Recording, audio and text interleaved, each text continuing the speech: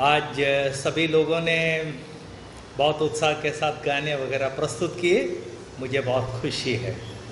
जो लोग पहली बार आए हैं, उनको याद दिला दूँ।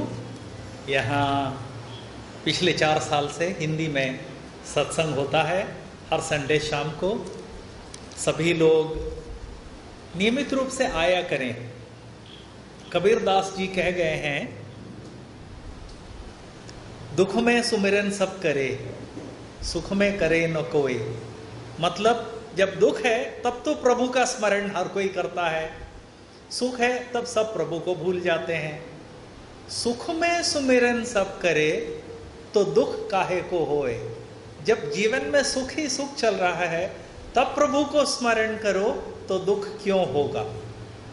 ये एक बहुत बड़ी बात है, जो कबीरदास जी कह गए हैं कि मनुष्य हमेशा सुख में अपने सृष्टिकर्ता को, सृजनहार को भूल जाता है। और जब ज़रूरत या मुसीबत आती है तो हे प्रभु, मदद करने एकदम से बोलता है। बल्कि ऐसा कहा जाता है कि जो नास्तिक है, जो ईश्वर की सत्ता में या ईश्वर के अस्तित्व में विश्वास नहीं करता, वो भी जब जीवन में मुसीबत आती है जब उसका बेटा या बेटी बहुत भयानक मुसीबत में है तो नास्तिक भी कहता है कि, हे प्रभु, मैं आप पर विश्वास तो नहीं करता, लेकिन आप जरा मेरे बच्चे के ऊपर दया दिखा देना। हम में से हर व्यक्ति की ज़िम्मेदारी है कि हम प्रभु को स्मरण करें।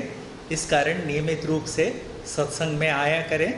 इस सत्संग में हम लोग प्रभु यीशु के जीवन का और उनकी शिक्षाओं का अध्ययन करते हैं। प्रभु यीशु को उत्तर भारत में खासकर उत्तर प्रदेश, बिहार, उड़ीसा और हमारा मध्य प्रदेश, वहाँ पर ईसा कहा जाता है, जो कि एक ही व्यक्ति का नाम है। ईसा, यीशु, जीसस, सब अलग अलग भाषाओं में एक ही व्यक्ति के नाम हैं। पिछले कुछ हफ्तों से हम प्रभु यीशु की शिक्षाओं का खासकर एक विशेष शिक्षा का अध्ययन कर रहे थे। प्रभु ने 30 साल की उम्र में जो सेवा कार्य शुरू किया तो भीड़ ऐसे टूटती थी कि प्रभु को और प्रभु के शिष्यों को सांस लेने की फुर्सत नहीं मिलती थी। एक बार भीड़ इतनी ज़्यादा हो गई, उस समय लाउड स्पीकर तो था नहीं। प्रभु को ये बात समझ में आ गई कि मुझे ऐसे ज़ोर से बोलना होगा कि ये दस हज़ारों लोग सुन सकें, इसलिए प्रभु एक पहाड़ के ऊपर चढ़ गए।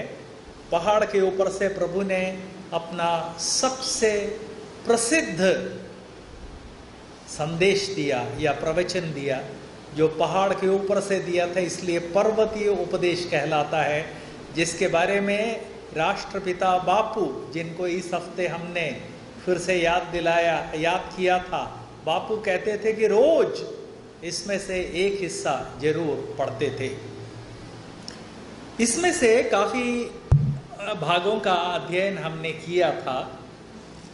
करते करते पिछले हफ़्ते हमने ये देखा था, प्रभु ने कहा था कि देखो, प्रार्थना करो, दूसरों को दिखाने के लिए नहीं। दान करो तो दूसरों को दिखाने के लिए नहीं। प्रभु ने ऐसा इसलिए कहा कि प्रभु जिस समाज में थे, उस समाज में लोगों की आदत थी कि यदि देवालय को या आराधनालय को कुछ भेंट चढ़ाते थे तो बैंड बाजा बजाते हुए भेंट ले जाते थे, जिससे सारी दुनिया को पता चले कि भैया साहब जो है, बहुत महादानी हैं। उसी तरह से प्रार्थना करते थे तो सड़क के चौराहों पे खड़े होके, यूँ खड़े होके प्रभु से प्रार्थना करते थे, जिससे कि सारे गाँव में लोगों को पता चले कि अरे, हमारे भैया साहब तो प्रार्थना घंटों करते हैं। प्रभु ने कहा, देखो, मेरे बच्चे, प्रार्थना नाटक नहीं है, प्रभु को दान देना प्रदर्शन नहीं है, इसलिए प्रभु को यदि तुम कुछ देते हो तो उसको रहस्य में दो, दूसरों को बताने के लिए नहीं और प्रार्थना करो तो वो भी रहस्य में करो, दूसरों के सामने दिखाने के लिए नहीं। प्रभु के चेलों ने एक बार, प्रभु से एक बात पूछी थी कि प्रभु प्रार्थना कैसे करनी चाहिए? और प्रभु ने उसका उत्तर दिया था। और लास्ट हफ़्ते हमने ये देखा कि प्रार्थना नाटक नहीं है। आज प्रभु यीशु के इस पर्वतीय उपदेश से हम ये देखना चाहेंगे, अपन सब देखना चाहते हैं। कि प्रार्थना कैसे करें? उसके लिए छठे अध्याय के मत्ती रचित सुषमाचार, छठे अध्याय के नौवें पद से हम पढ़ना चालू करेंगे। वहाँ लिखा है, तुम इस रीति से प्रार्थना किया करो, हे हमारे पिता, आप जो स्वर्ग में हैं, आपका नाम पवित्र माना जाए। आपका राज्य आए, आपकी इच्छा जैसे स्वर्ग में पूरी होती है, वैसे पृथ्वी पर भी हो। अपन लोग प्रार्थना करते हैं तो अक्सर कैसे प्रार्थना करते हैं, प्रभु, बच्चे को परेशानी है उसकी मदद कीजिए, बिटिया को परेशानी है उसकी मदद कीजिए, घर में भाई बहन हैं बीबी बच्चे हैं, परेशान है, उनकी मदद कीजिए। करते हैं या नहीं करते हैं? अक्सर ऐसा ही करते हैं। लेकिन प्रभु ने ये बात याद दिलाई कि इस संसार के सृजनहार, पालनहार और तारणहार के सामने जब हम आते हैं, तब आभार के साथ आना चाहिए। आते ही, हे प्रभु, ऐसा कर दीजिए, ऐसा कर दीजिए, ऐसा कर दीजिए। जैसे कि प्रभु कोई कंडक्टर है जो सिर्फ़ टिकट बांटने के लिए बैठा हुआ है। प्रभु के प्रति आभार प्रकट करना चाहिए। इस बात को मैं अक्सर सोचा करता हूँ, क्योंकि हम लोग एक ऐसी कॉलोनी में रहते हैं, जहाँ सभी लोग पढ़े लिखे और दानी धर्मी लोग हैं। इस इलाके के सारे भिकारियों को मालूम है कि इस कॉलोनी में चले जाओ तो दस घर जाओगे तो कम से कम सात घरों में कोई ना कोई जनता होगी और कुछ ना कुछ मिल जाएगा। तो इस कारण हमारी कॉलोनी में तो सुबह से शाम तक भिकारियों का जमघट लगा रहता क्यों? एक निकला नहीं की दो, दूसरा दूसरा निकला नहीं की तीसरा। बल्कि मैं तो दोपहर को दो से लेकर चार जंजीर डाल देता हूँ, क्योंकि दो से चार डॉक्टर ने कड़ी हिदायत दी है कि मैं किसी भी तरह से अपने विश्राम को ब्रेक ना करूँ। ठीक है? तो इतने लोग आते हैं और इस कारण हमने अपने घर में एक बड़ी सी बोतल चिल्लर का, बड़ी सी बोतल चिल्लर की रखी हुई है। और सबको ये ये निर्देश दिया गया है, बाहर बाज़ार जाएँ, वापस आएँ, आपकी जेब में जितना चिल्लर है, सब इस बोतल में डाल दिया जाए, क्योंकि सुबह से शाम इसकी ज़रूरत पड़ती है। ठीक है? जब कोई भिखारी आता है, किसी ज़माने में 25 पैसा देते थे 50 देते थे, एक रुपया देते थे, दो दे देते थे, आजकल कीमतें बहुत बढ़ गई हैं। तो आजकल हम पाँच रुपया देने लगे हैं।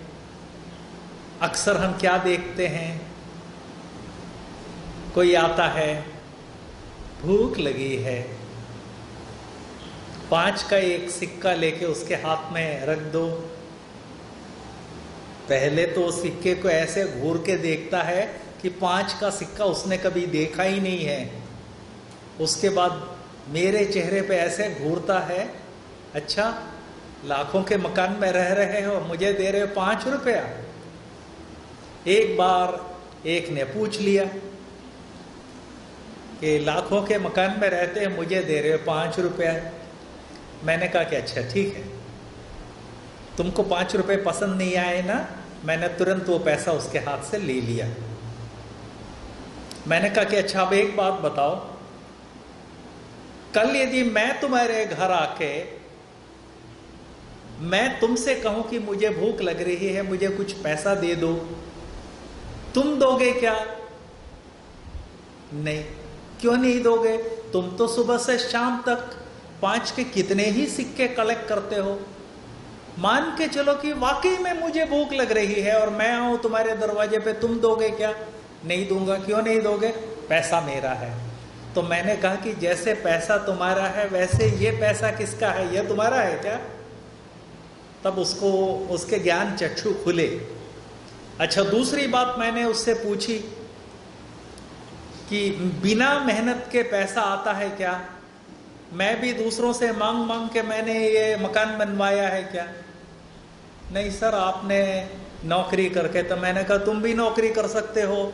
तुम्हारे हाथ पैर सबूत हैं, तुम्हारी आँखें सही है। तुम कहो तो अभी इस कंपाउंड में मैं तुमको दिन भर की नौकरी देता हूँ और दिन भर काम करोगे तो बड़े आराम से पाँच छः सौ रुपया मैं तुमको दे दूँगा।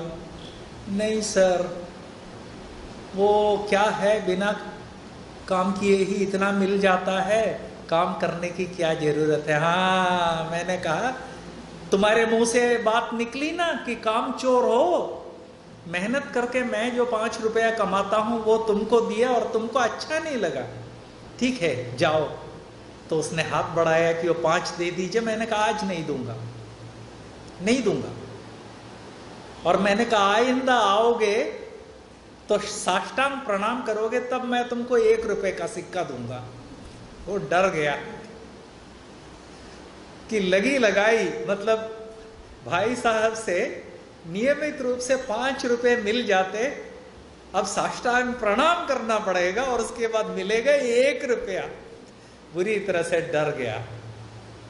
डर के चला गया, लेकिन उसका फ़र्क यह ज़रूर पड़ा कि अगली बार से बड़ी इज़्ज़त से आता था। और पैसा देने से पहले भी प्रणाम करता था, पैसा देने के, लेने के बाद भी प्रणाम करता था, और कभी उसने मुट्ठी खोल के नहीं देखी कि भैया साहब ने क्या दिया है। क्यों मुझे इतना उसके ऊपर कोप आया, क्रोध आया? आज इस सभा में जितने लोग बैठे हैं, इनमें से कोई जादूगर है क्या, जिसके पास कोई जादुई छड़ी है आपके पास रोज पैसे आ जाते हो? नहीं। कड़ी मेहनत करनी पड़ती है ना? बहुत कड़ी मेहनत करनी पड़ती है। आज इस सभा में काफ़ी सारे लोग हैं, जो घर बार छोड़कर हज़ारों किलोमीटर दूर रहकर सुबह से शाम मेहनत करते हैं। पैसा मेहनत से आता है। लेकिन इसको जानते हुए भी कई बार बिना मेहनत हमको जो चीज़ मिलती है, उसकी कीमत हम नहीं पहचानते। मेरा इशारा प्रभु की तरफ़ है। जिस तरह से वो भिकारी ये सुन के आया था कि भैया साहब के घर जाओ, पैसा ज़रूर मिलेगा। मिला तो उसको मज़ा नहीं आया। उसने क्या सोचा था, यहाँ तो लॉटरी निकल आएगी। अरे लॉटरी कैसे निकल सकती है? मेहनत करनी पड़ती है, तब भैया साहब के पास पैसे आते हैं। लेकिन संसार के सृष्टा प्रभु, जिन्होंने हर व्यक्ति और हर चीज़ की सृष्टा की है, कई बार हम उनके पास भी बिल्कुल उसी नज़रिए के साथ जाते हैं। प्रभु, मुझे एक अच्छी नौकरी दिला दीजिए। नौकरी जब मिल जाती है, तब हम कहते हैं, प्रभु, ये नौकरी मेरी जो ट्रेनिंग है और मेरी जो योग्यता है, उससे तो अच्छी नौकरी आपने दिला दी। लेकिन प्रभु, मैं तो सोच रहा था कि आप तो इससे भी बड़ी नौकरी मुझे दिला देंगे। अरे, लाट साहब लोग सड़क पे नौकरी के लिए नंगे भूखे फिर रहे हैं नहीं मिल रही। और प्रभु ने आपको, आपकी जो योग्यता है, आपका जो क्वालिफिकेशन है, आपका जो अनुभव है आपकी योग्यता से दस गुना ज़्यादा अच्छी नौकरी दी और उसके बाद आपका मेरा व्यवहार प्रभु के प्रति वैसा ही है जैसे इस भिकारी का था, जिसको फ्री फंड में पैसे मिल गए, इसलिए वहाँ खड़े होकर मुँह बिचका रहा था, पाँच रुपए पाँच रुपए किसको चाहिए? उसको कीमत तब पता चली जब मैंने वो पाँच रुपए वापस ले लिए। मेरे और आपके जीवन में कई बार एग्जैक्टली exactly हमारा व्यवहार ऐसा ही होता है। प्रभु के प्रति जो आभार मेरे आपके जीवन में होना चाहिए, वो नहीं होता है। लेकिन प्रभु ने प्रार्थना, अपने शिष्यों को कैसे प्रार्थना करनी है, इस बात को सिखाते समय सबसे पहले ये कहा कि मेरे बच्चों, पहले अपनी प्रार्थना में प्रभु को धन्यवाद देना सीखो। आप जो स्वर्ग में हैं, आपका नाम पवित्र माना जाए। इसका क्या मतलब है? इसका मतलब यह है मेरे दिल में प्रभु आपके प्रति भक्ति हो और मैं जब आपके बारे में बोलूँ, तब जो सुनने वाले हैं, वे इस बात को समझ सकें कि प्रभु धन्य है, प्रभु महान है, प्रभु पवित्र मेरी वाणी से लोग इस बात को समझ सके। आपका नाम पवित्र माना जाए कि बहुत सारे मतलब है, जिसमें से कुछ मतलब आप, मैंने आपको बताया। आपका राज्य आए, इसका क्या मतलब है? आज दुनिया दुनियावी लोग चला रहे हैं और उसके कारण कितनी समस्या होती है, इस बात को हम जानते हैं। आपका राज्य आए का मतलब है, प्रभु, इस संसार का राज्य आप अपने हाथ में ले लीजिए, तभी इस संसार में शांति और अमन, चैन और न्याय कानून होगा। इस प्रार्थना के पीछे एक उद्देश्य है। प्रभु यीशु ने अपने स्वर्गारोहण से पहले ये बात बताई थी कि मैं जा रहा हूँ, लेकिन उसी तरह से वापस आऊँगा। प्रभु का वचन ये बात याद दिलाता है कि प्रभु के वापस आने के कुछ सालों के बाद प्रभु एक राज्य की सृष्टि करेंगे। मतलब सारा संसार उनके राज्य के या उनके न्याय कानून के अंदर आ जाएगा। प्रभु शासन करेंगे।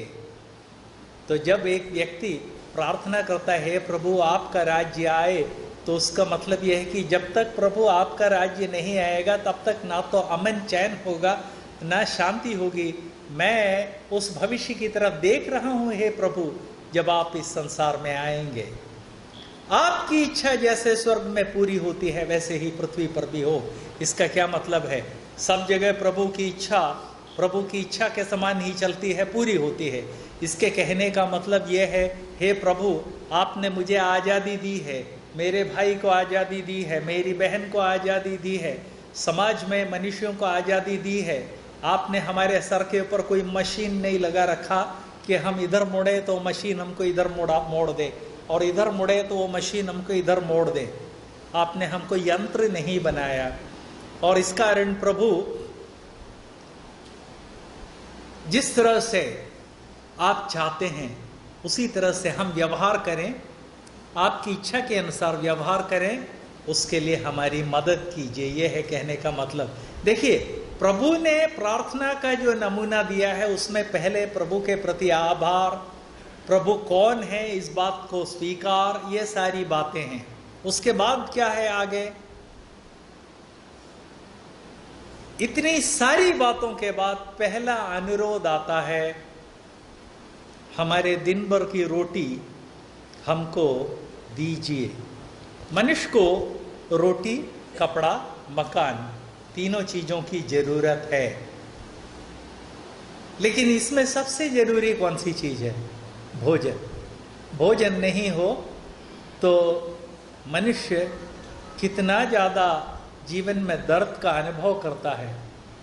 भोजन के लिए कई बार लोग चोरी भी करते हैं। मेरे कहने का मतलब ये नहीं है कि हर चोर भोजन के लिए चोरी करता है। ना ही मेरे कहने का मतलब यह है कि भोजन के लिए चोरी करना उचित है, लेकिन हम इस बात को जानते हैं कि कई बार लोग इवन भूख के मारे दुकानों में जाके, मिठाई की दुकानों में जाके जब कोई नहीं देख रहा है, एक मिठाई पार कर लेते हैं। मैंने बचपन से इस तरह की बहुत सारी बातें देखी हैं। ऐसे बहुत सारे बच्चे मैंने देखे हैं, जिनको जब वो मिठाई पार करते हैं तो उनको बुलाकर भरपेट खाना खिलाया है। मेरी शुरू से आदत रही है। इधर आओ। ये जलेबी तूने कहाँ से पाई? सच बोल, मैं देख रहा था। तो वो कहता है कि भाई साहब, मुझे पकड़वा मत देना। भूख के मारे मर रहा हूँ, मैं वहाँ से खींच लाया। तो मैं अक्सर उससे कहता हूँ, मेरे साथ आओ। दुकानदार से कहता हूँ कि इसको इतनी जलेबियाँ तोल के दे दो, तोल के दे देता है, उसमें से एक वापस। ये उसने पहले से उठा ली थी, जा, ले जा, तू खा। लेकिन आइंदा ऐसा मत करना, कम से कम कुछ काम कर। ऐसे कई बच्चे हैं ग्वालियर शहर में, जिनको मैंने बुलाकर बाकायदा उनके साथ बैठकर उनको जूता पॉलिश करना सिखाया है, क्योंकि ये एक ऐसी नौकरी है जो बच्चे उत्तर भारत में बहुत आसानी से कर सकते हैं। बाकायदा बैठ के मैंने उनको जूता पॉलिश करना सिखाया उनको पूरा जूता पॉलिश का किट खरीद के दिया और उनको शहर में ऐसे ऐसे जगह फिट किया जहाँ दुकानदार मेरे फ्रेंड्स हैं। दुकानदारों से कह देता था, ये मेरा बच्चा है, कोई इसको परेशान ना करे, इसका ख्याल रखना। कई बच्चों के साथ मैंने इस तरह से किया है। क्यों? इन बच्चों की मजबूरी है, भोजन नहीं है। आज तो स्थिति स्थिति कुछ बेहतर है मेरा जो बचपन था, उस समय हर जगह भूखमरी थी। हिंदुस्तान में राशन जो सिस्टम है, वो तब चालू हुआ था। भोजन सबसे ज़्यादा ज़रूरी चीज़ है। और इसीलिए चाहते ना चाहते हुए जब भोजन देखते हैं तो लोग उसमें से चोरी छुपे खींच ले जाते हैं। मेरी भी ज़रूरत है, आपकी भी ज़रूरत है। इसलिए जब हम प्रभु से प्रार्थना करते हैं, पहले प्रभु के प्रति आभार और जब आभार प्रकट कर दें, उसके बाद याचना। क्यों ऐसा है? इसके पीछे कई कारण हैं।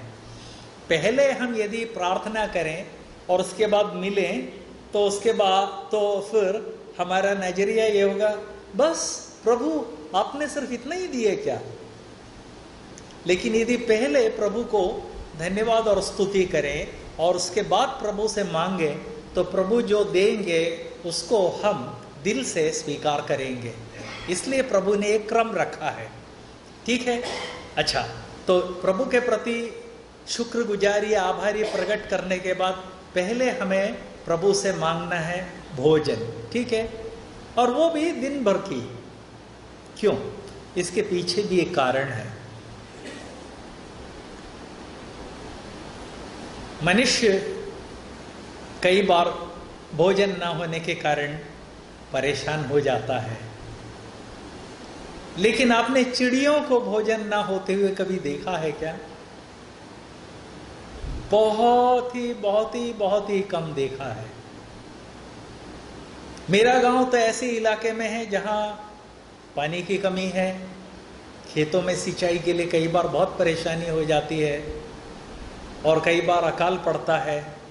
इसके बावजूद चिड़िए कहीं ना कहीं से चुगने के लिए दाना ढूंढ निकालती हैं। प्रभु के वचन में कहा है कि चिड़िए ना तो खेती करती हैं, ना तो बोती हैं, ना फ़सल काटती हैं, इनको भोजन कौन देता है? सर्वशक्तिमान प्रभु जिन्होंने इस संसार की सृष्टि की है। और उसके बाद प्रभु ने कहा था, देखो, तुम्हारी कीमत चिड़ियों से बहुत अधिक है, बहुत अधिक है। आपके घर के सामने यदि कोई कुत्ता आके भूखा खड़ा हो और यदि आपके पास रोटी हो, मुझे यकीन है कि आप एक टुकड़ा रोटी उसको, उसके सामने डाल देंगे। दोपहर को खाने की मेज पे बैठते हैं तो आप खाने का, चपाती का बर्तन अपने बेटे के सामने पास करते हैं। दोनों को ही आपने चपाती दी, दोनों की हैसियत एक ही है क्या? जी नहीं। मेरा बेटा तो मेरा बेटा है, सड़क चलता कुत्ता सड़क चलता कुत्ता है। उस पर दया आई इसलिए मैंने उसको दिया। ये कंपैरिजन या, ये तुलना मैं आपको इसलिए बताना चाहता हूँ इस संसार के सृष्टा की नज़र में, चिड़ियों की तुलना में मेरी आपका, आपकी जो कीमत है, मेरा आपका मूल्य बहुत अधिक है। तो प्रभु स्वयं कहते हैं कि मेरे बच्चों, जब मैं चिड़ियों को बिना खेती किए, बिना बोए, बिना फ़सल काटे, जब उनको प्रतिदिन भोजन देता हूँ तो तुम तो मेरे बच्चे हो। तुमको कमी कैसे होगी? मैं उसका ख्याल रखूँगा। इसलिए प्रभु से हम याचना करते हैं, आज दिन भर की रोटी हमको दीजिए। इसके अलावा और कोई बात यहाँ मांगी है क्या? जी नहीं। कपड़ा नहीं। मकान नहीं। क्यों? इसलिए कि जीवन की सबसे मूल बात यदि प्रभु दे देते हैं तो प्रभु बाकी भी देंगे, इसे हम जानते हैं। इसलिए अगला स्टेटमेंट है, जिस तरह हमने अपने अपराधियों को क्षमा किया, वैसे ही प्रभु हमारे अपराधियों को क्षमा कीजिए। यह स्टेटमेंट प्रार्थना में क्यों आया है? इसके पीछे एक कारण है। प्रभु यीशु के बच्चों के जीवन में सबसे बड़ी बात क्या है? पाप क्षमा। हम कैसे प्रभु यीशु की संतान हुए? प्रभु के बच्चे कैसे हुए? प्रभु ने हमें पापों से क्षमा दी और क्षमा दे के हमको अपनी संतान बनाया। तो जब क्षमा के द्वारा हमारा जीवन आरंभ हुआ है तो प्रभु हमसे ये उम्मीद करते हैं कि हमारे जीवन के हर क्षण, हर पहलू क्षमा क्षमा और क्षमा दिखाई देगी। इसलिए लिखा है, जैसे हमने अपने अपराधियों को क्षमा किया है प्रभु, हमारे अपराधों को भी क्षमा कीजिए। हम में से कौन है जिसने प्रभु के प्रभु के विरुद्ध कभी भी कोई अपराध नहीं किया है? ऐसा कोई व्यक्ति नहीं, ऐसा कोई भी धर्मी व्यक्ति इस दुनिया में नहीं है, जो ये कह सके कि मैंने कभी प्रभु के विरुद्ध कोई अपराध नहीं किया है। अच्छा ऐसा कौन व्यक्ति है जो प्रभु से क्षमा नहीं चाहता है? अरे, हर व्यक्ति प्रभु से क्षमा चाहता है। और यदि कोई कहता है कि मुझे प्रभु से क्षमा नहीं चाहिए तो या तो वो पागल है, या वो इतना अपराधी हो गया है कि वो प्रभु को मानना ही नहीं चाहता, या उसके जीवन में कोई तो भी परेशानी है। शायद उसने नशा कर रखा है, वो ठीक से सोच नहीं पा रहा है।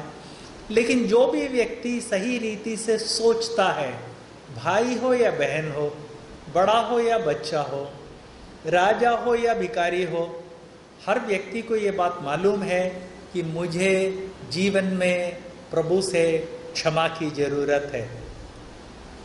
लेकिन प्रभु एक बात याद दिलाते हैं, प्रभु से क्षमा मांगने से पहले प्रभु के बच्चों को अपने जीवन में क्षमा की आदत दिखानी चाहिए। क्यों? इसलिए कि हमारे जीवन का आरंभ क्षमा से हुआ है, और यदि जीवन का आरंभ क्षमा से हुआ है तो हमारे जीवन के हर क्षण में क्षमा होनी चाहिए। इसके बारे में प्रभु यीशु ने एक बार एक कहानी सुनाई थी। प्रभु ने कहा कि देखो, एक बहुत ही धनी आदमी था। उसका एक गुलाम था। एक दिन मालिक ने गुलाम को बुलाया, अरे सुनो, इधर तो आओ जरा। कांपते हुए मालिक के सामने खड़ा हो गया।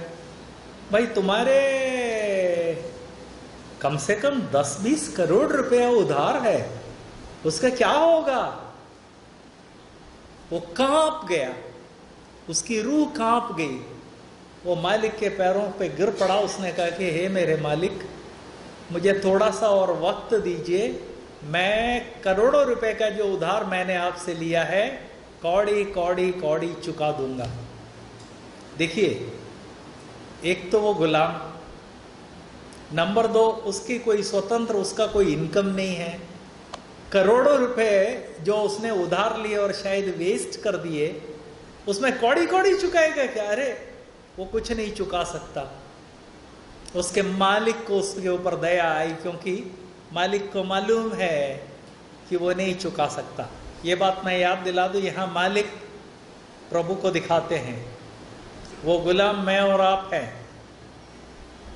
मालिक ने कहा कि तू क्या चुकाएगा? आज मैं तेरी उधारी माफ़ कर देता हूँ। करोड़ों रुपए का उधार जिसको वो पीढ़ी दर पीढ़ी नहीं चुका सकता था, मालिक ने क्षण भर में माफ़ कर दिया। माफ़ी पाया हुआ ये गुलाम आगे को गया तो एक और गुलाम नज़र आया। अरे, उसने कहा कि, पप्पू, इधर तो आओ या लल्लू, इधर तो आओ। तूने मुझसे दस रुपए उधार लिए थे। हाँ मैंने लिया था। बड़ी परिवार में बहुत ज़रूरत पड़ गई थी, मैंने उधार लिया था। वो दस रुपए वापस करो। वो गुलाम इस गुलाम के पैर गिर पड़ा। मुझे थोड़ा सा और टाइम दीजिए, मैं कौड़ी कौड़ी चुका दूँगा। ये गुलाम जिसके दस करोड़ों रुपए माफ़ हो गए थे, माफ़ी पाने के दो या तीन मिनट के बाद जिसने उससे दस रुपए लिए थे, उसका गला पकड़ के, उसका गला दबाता है ऐसा प्रभु यीशु ने कहा। देखिए, दस करोड़ रुपया उधार चुकाना एक गुलाम के लिए आसान है या दस रुपए का उधार चुकाना है? दस रुपए का। दस करोड़ वो कभी नहीं चुका पाता, लेकिन दस रुपए जिसने उधार लिए थे, वो शायद चुका देता। अच्छा मान लीजिए नहीं चुका पाए तो भैया तुमको करोड़ रुपए, दस करोड़ रुपए का, दस करोड़ रुपए का रिलीज़ मिला है। दस करोड़ रुपए तुम्हारे माफ़ हुए हैं, तुम दस रुपए नहीं छोड़ सकते क्या? वो उसका गला दबाने लगा तो उसने और विनती की, नहीं नहीं। और इस गुलाम ने क्या किया? जिसने दस रुपए उधार लिया था, उसको जेल में डलवा दिया। साथी लोग जो गुलाम थे, उनके बात बहुत बुरी लगी। उन्होंने जाके मालिक को बताया। मालिक ने बुलाया। मालिक ने कहा, अरे दुष्ट दास तेरे दस से बीस करोड़ रुपए मैंने माफ़ कर दिए, तू जिसने माफ़ी का अनुभव किया, तेरे जीवन में भी यही माफ़ी दिखाई देनी चाहिए थी। और मैंने तुझे जो माफ़ किया है, उसकी तुलना में दस रुपए क्या है? और इसलिए मालिक ने क्या किया? इसको पकड़ के जेल में डाल दिया, और वो जिसकी दस रुपए की उधारी थी, उसको छुड़ा दिया। ये कहानी प्रभु यीशु ने स्वयं सुनाई, जो मेरे और आपके जीवन को दर्शाती है। हम में से कई लोग ऐसे हैं, जिन्होंने जीवन में क्षमा, क्या चीज़ है, ये कभी नहीं सीखा है। अपने भाई, अपनी बहन, माँ, बाप, चाचा, चाची, ताऊ, रिश्ते में किसी ने कोई जरा सा गलत काम किया, ज़िंदगी भर उसको याद रखते हैं और बदला देने की कोशिश करते हैं। मेरे इलाके में तो पीढ़ी दर पीढ़ी एक दूसरे को शूट करते हैं। मैं एक परिवार को, दो परिवारों को जानता हूँ। मेरे बचपन में एक परिवार वाले ने दूसरे को शूट किया। मैं जब 10 साल का हुआ, तब दूसरे परिवार वाले ने पहले परिवार वाले को शूट किया। मैं जब 20 का हुआ तो यहाँ से उधर 30 का हुआ तो वहाँ से यहाँ। कम से कम छह या सात आपस में उन्होंने एक दूसरे को गोली मारी। क्यों? और सब जेल में है। एक को पकड़ के जेल में डाल दो, परिवार का दूसरा सदस्य गोली मार देता है। क्षमा नहीं सीखा है। लेकिन प्रभु यीशु इस बात को याद दिलाते हैं, प्रभु के बच्चों के जीवन में कुछ बातें विशेष दिखनी चाहिए। अपन खुद जानते हैं ना कि बच्चे जब बात करते हैं तो इनकी बातचीत से एकदम से समझ में आ जाता है कि इनके माँ बाप ने इनको दूसरों से बात करने का तरीका सिखाया है क्या? सलीका सिखाया है क्या? हम एक सामान्य परिवार के अंग नहीं हैं, जिन्होंने प्रभु यीशु के द्वारा नए जीवन पाया है। हम एक आसमानी परिवार के बच्चे हैं और हमारा व्यवहार आसमानी परिवार के बच्चों के समान होना चाहिए। आसमानी परिवार के बच्चों के जीवन में जो व्यवहार दिखना चाहिए, उसमें से पहला और सबसे महत्वपूर्ण व्यवहार है क्षमा। क्षमा के साथ हमको जीवन बिताना चाहिए। जब हम क्षमा करते हैं, तभी हम प्रभु से विनती कर सकते हैं, प्रभु, मैंने क्षमा प्रदान की, मैंने सबको माफ़ किया, प्रभु मेरी गलतियाँ भी माफ़ कर दीजिए। आगे लिखा है प्रभु हमको परीक्षा में मत लाइए। देखिए, हर व्यक्ति के सामने परीक्षा आती है गलत काम करने के लिए। जो फैक्ट्री में है, उसके सामने भी आती है परीक्षा। जो बिज़नेस में है, जो एजुकेशन में है, हर एक के सामने परीक्षा आती है गलत काम करने के लिए। इसलिए प्रभु से विनती है, प्रभु ऐसे काम, ऐसे बातों में फंस न जाए, उसके लिए मदद कीजिए। प्रभु हमको बुराई से बचाइए। प्रभु के बच्चों के जीवन में हमेशा ये इच्छा होनी चाहिए। प्रभु, जब तक हम इस संसार में हैं, तब तक तमाम तरह की बुराइयाँ हमारे चारों तरफ़ आने की संभावना है। इन चीज़ों से हमको बचाइए। और आगे क्या लिखा है? फिर से, राज्य, पराक्रम, महिमा आपके हैं। क्या मतलब? प्रभु ने सृष्टि की है, सृजनहार। सृष्टि की है।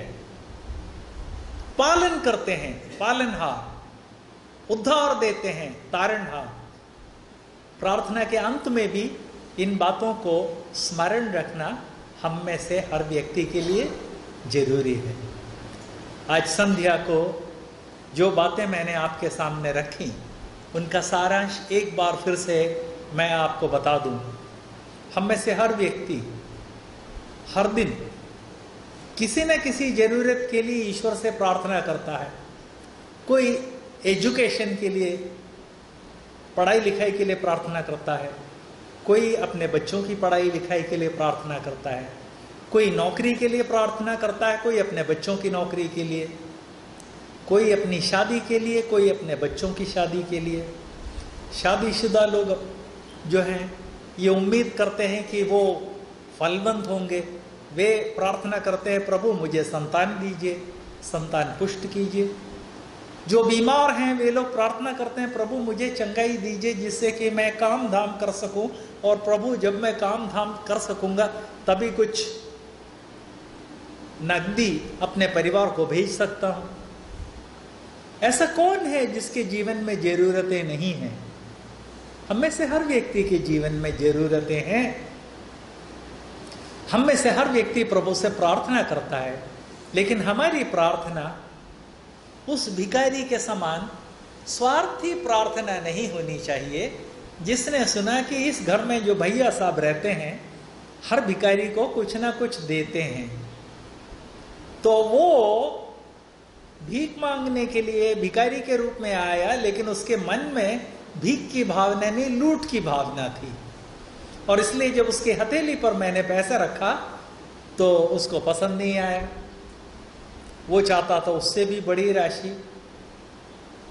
मेरी और आपकी या मेरे आपका नज़रिया कहीं ऐसा तो नहीं है। प्रभु से प्रार्थना की, बच्चों को एजुकेशन दिया, हमको मज़ा नहीं आया। बेटे को बहुत अच्छा ओहदा दिया, हमको मज़ा नहीं आया। प्रभु, आपने बेटे को उसकी जो क्वालिफिकेशन है, उससे ऊँची पोजीशन दी। लेकिन प्रभु, मैं तो चाहता था कि शहर के जो लाट साहब हैं, उनका लड़का जहाँ काम कर रहा है, वो मेरे बेटे को मिल जाए। अरे, लाट साहब का बेटा जो नौकरी कर रहा है, वो मिलना है तो पहले तुम लाट साहब बनो। वो मेहनत से लाट साहब बना है। ये चीज़ें हम भूल जाते हैं। प्रभु के पास जब जाएँ, तब हम बहुत ही आभार के साथ जाएँ। इस बात को याद रखें कि हमारी जो योग्यता है, उससे अधिक प्रभु हमको देते हैं। एक बात बताइए, मेरे पैसे के ऊपर क्लेम दावा किसका है? मेरा है। मैंने मेहनत से पैसा कमाया है, उसके ऊपर दावा मेरा है। मेरे बाद मेरी वाइफ का क्लेम बनता है। हम दोनों के बाद मेरे बेटे का क्लेम बनता है। उस भिखारी का कोई क्लेम बनता है क्या? कि भैया साहब कमा रहे हैं, उसमें से 20 प्रतिशत मेरा है। कोई क्लेम है क्या? नहीं है। बिना कोई क्लेम नहीं, कोई दावा नहीं है। इसके बावजूद उसको दिया, संतृप्ति नहीं हुई। मेरे आपके जीवन में जब हम प्रभु से प्रार्थना करते हैं, याद रखें, प्रभु के ऊपर हमारा कोई दावा नहीं चल सकता। प्रभु ने हमको हाथ पैर दिए हैं, आँखें दी हैं। मेहनत करना, नौकरी करना, बच्चे पालना हमारी ज़िम्मेदारी है। लेकिन जब हम प्रभु से विनती करते हैं, इस कारण, क्लेम के कारण नहीं, लेकिन ये याद रख के प्रार्थना करें कि प्रभु हमारे पिता हैं, सर्वज्ञानी हैं। सर्वशक्तिमान हैं, प्रेमी पिता हैं, इसलिए हमारी जरूरतों को पूर्ण करने के लिए सदैव तत्पर है। इस बात को याद रखे, पूर्ण आभार के साथ हम प्रार्थना करना सीखें। खत्म करने से पहले एक दो बातें और याद दिलाना चाहता हूँ। इसके पहले ये बात मैं याद दिला चुका हूँ कि हम में से हर व्यक्ति के जीवन में कम से कम सुबह और शाम को नियमित रूप से प्रार्थना की आदत होनी चाहिए। ऐसा नहीं कि बस जब परेशानी आई तब प्रभु के पास प्रार्थना के लिए गए। दूसरी बात, हम में से हर व्यक्ति को प्रभु के साथ एक अभिन्न संबंध पाना ज़रूरी है। इस सत्संग में ऐसे कई भाई बहन हैं जिन्होंने ये अभिन्न संबंध प्रभु के साथ पाया है। मैंने ये बात कई बार याद दिलाई है। आज से साठ साल पहले मैंने घुटने टेक कर प्रभु से प्रार्थना की कि प्रभु मैं पापी हूँ। पापी मैं था आपसे दूर। आपने मेरे लिए सूली पर अपना जीवन दिया। मैं उसे ग्रहण करता हूँ। मेरे पापों से मुझे क्षमा दीजिए। प्रभु ने मुझे क्षमा दी। पापी मैं था आपसे दूर। बचा लिया दया है आपकी। इस सभा में ऐसे कई लोग हैं जो आपको ये गवाही दे सकते हैं, मैं एक पापी था, लेकिन बचा लिया प्रभु ने, दया है प्रभु की। इस सत्संग में यदि कोई भाई या बहन ऐसा है या ऐसी है, जिसने इस नए जीवन को नहीं पाया है तो मैं आपसे विनती करना चाहता हूँ, इस नए जीवन की उपेक्षा ना करें। इसके बारे में और विस्तार से जानने के लिए इस सभा के बाद मैं यहाँ सामने बैठा रहता हूँ। आकर मुझसे संपर्क कीजिए, मैं आपको विस्तार से समझाऊँगा। यदि आपको, मैं थोड़ा सा सीनियर हूँ, इसलिए मेरे पास आने में परेशानी होती है। तो यहाँ और भी कई भाई लोग हैं, जो मुझसे उम्र में काफ़ी छोटे हैं। वे लोग आपको ये बातें अच्छी तरह से समझा देंगे, क्योंकि वो लोग चाहते हैं कि उन्होंने अपने जीवन में जो खुशी और शांति पाई है, ये खुशी और शांति आपको भी मिल सके। प्रभु आप सबकी मदद करें आप सबको, अनुग्रह दें। फिर से मैं याद दिला दूँ जब तक है ज़िंदगी, फुर्सत न मिलेगी काम से। दो बातन को भूल मत। भैया एक मौत को और दू, दूजा सृजन हा। हम सबको एक दिन ये दुनिया छोड़ के जाना होगा। जब तक यहाँ है, तब तक सत्संग में आकर सृजनहार को स्मरण करने के लिए जो अवसर मिलता है, उसे ना भूलें। जब तक है ज़िंदगी फुर्सत न मिलेगी काम से। दो बातन को भूल मत। जो चाहे कल्याण, भैया एक मौत को, दूजा सर्जन हा जय मसीह की।